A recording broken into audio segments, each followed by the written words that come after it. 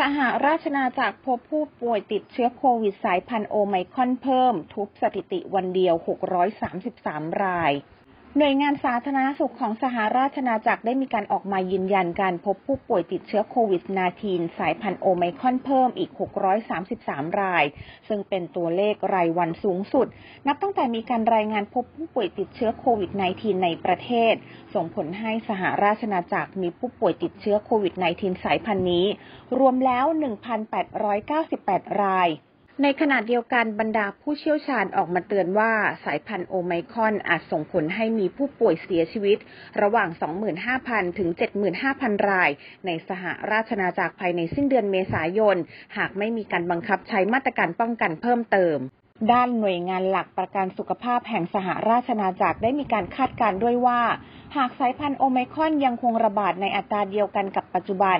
มันจะกลายเป็นเชื้อไวรัสสายพันธุ์หลัก ที่ครองสัดส่วนมากกว่าร้อยละ 50 ของการติดเชื้อทั้งหมดในประเทศ ภายในกลางเดือนธันวาคม อีกทั้งคาดว่าหากแนวโน้มการระบาดในปัจจุบันยังคงไม่เปลี่ยนแปลง ทางสหราชนาจักรจะมีการติดเชื้อ ในสายพันธุ์โอไมคอนเกิน 1 ล้านรายภายในสิ้นเดือนนี้ซึ่งปัจจุบันประชากรอายุ 12 ปีขึ้นไปในสหราชนาจักร ได้รับวัคซีนป้องกันโควิด -19 โดสแรกมากกว่าร้อยละ 89 ได้รับวัคซีนครบโดสมากกว่าร้อยละ 81 และได้รับวัคซีนโดสกระตุ้นมากกว่าร้อยละ 39 แล้ว